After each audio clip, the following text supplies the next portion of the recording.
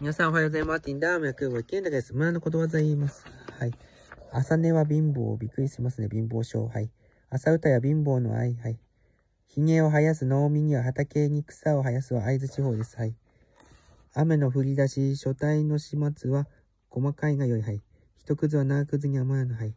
足袋は親の旅はけ。鉄鍋は敵にでも風。いわきです。はい。あとは野菜は繁盛体。はい。手ぶらの野良帰り。はい。火の始末。火の上手に起こすものは、書体持ちが良い。はい。すごいですね。火を使うは火を焚かせよ。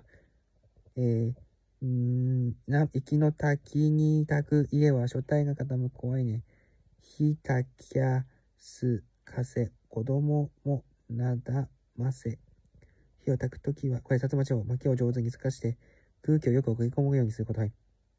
急鍋、たぎらずは薩摩。火の土下消すな、薩摩地方。炭火の起こりは未情を表す。はい。以上です。バイバイ。